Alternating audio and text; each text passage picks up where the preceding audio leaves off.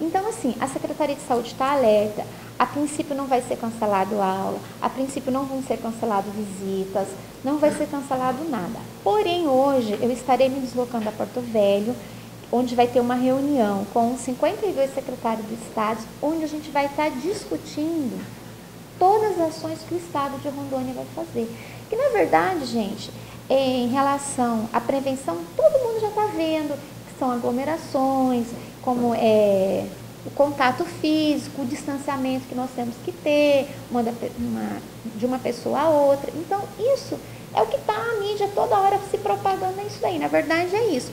Agora, o que nós vamos discutir é quais ações que o Estado de Rondônia vai ter em relação a esse enfrentamento.